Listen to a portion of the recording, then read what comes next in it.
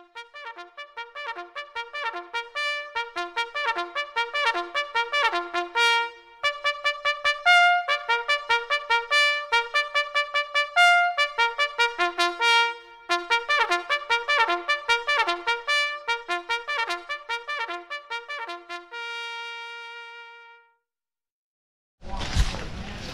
field training exercise is just basically uh, getting the soldiers out in the field, out of garrison, and teaching them field craft and basic tactical skills so that they can survive and accomplish the mission in a combat environment. I'm First Sergeant Kinkle, the First Sergeant of Charlie Company 148 Infantry Battalion, uh, the best dang infantry battalion and company in the Army and I love my job. It is the best job now.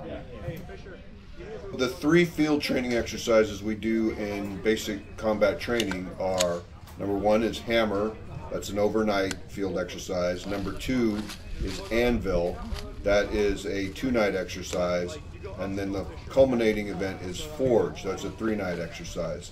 So basically, it goes along with our motto of transforming civilians into soldiers and and making steel. That's our motto. So the the process is you you hammer the steel against an anvil, and then you put it in the forge to treat it with heat, and it becomes it becomes steel.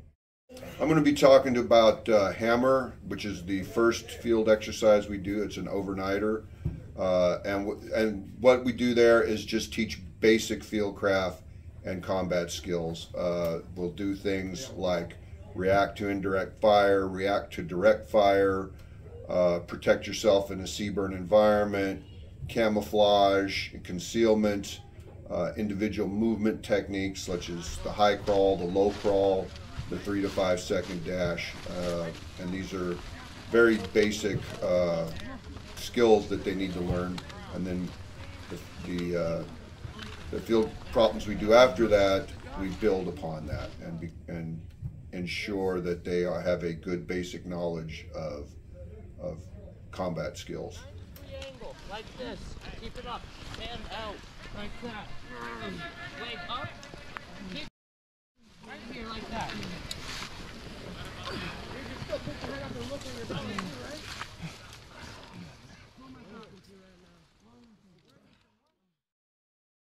So some of the basic stuff we'll do is like the individual movement techniques. That's where they low crawl or high crawl or do a three to five second rush. Now, when we go out again for our further field exercises, they'll build, they'll use that into attacking an objective. They'll, they'll move as a buddy team, uh, and then one fire team will move up, another one will come up to a flanking position. So these skills are all built upon as, as we go further into the training. I would just like to tell the families of the soldiers we really appreciate your support of them. Um, some of the things we do seem a little crazy. It's a very stressful situation for your soldier who's here. Uh, but the purpose of that is to instill discipline because we have to have discipline in order to fight our country's wars if we're going to succeed. And we've got to continue to forge these soldiers into steel.